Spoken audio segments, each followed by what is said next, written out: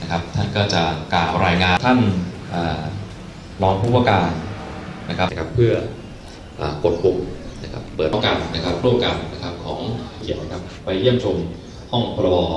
ข่าวสดนี้นะครับก็นะครับได้เวลา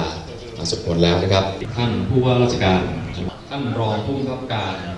หน่วยเฉพาะกิจกรมฐานราบที่ 4 วันนี้ครับการไฟฟ้าอำเภอแม่แสงชำผู้อำนวยการการไฟฟ้าส่วนภูมิภาคเขตสองตามหลักธรรมาภิบาลดำเนินการด้วยความโปร่งใสปราศจากการทุจริตคอร์รัปชันกับผมนายเอกชัยศักดิ์ทัศนา รองผู้ว่าการการไฟฟ้าส่วนภูมิภาค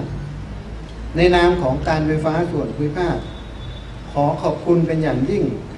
ที่ได้ผมมาเป็นประธานในพิธีเปิดโครงการการไฟฟ้าโปร่งใส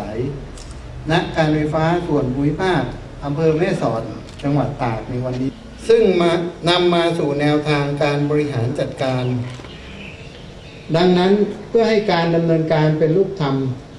และเป็นไปอย่างมีประสิทธิภาพ พร้อมกันนะครับห้า สี่สามสองหนึ่ง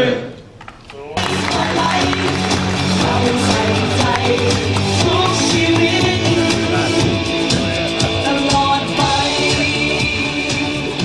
ที่หากินหรือใช้ตำแหน่งหน้าที่หากินบนความทุกข์ยากบนความทุกข์ยากของประชาชนของประชาชนจะเจริญรอยตามจะเจริญรอยตามเรื่องพระยุคลบาทเรื่องพระยุคลบาท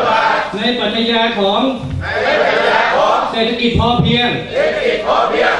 และยืนเคียงข้างสุจริตและยืนเคียงข้างสุจริตร่วมสร้างเยาวชนร่วมสร้างเยาวชน ให้โตไปไม่โกง ให้โตไปไม่โกง เพื่อจันลง เพื่อจันลง และนำพาประเทศไทย และนำพาประเทศไทย ให้รุ่งเรือง ให้รุ่งเรือง วัฒนาสถาพรสืบไป วัฒนาสถาพรสืบไป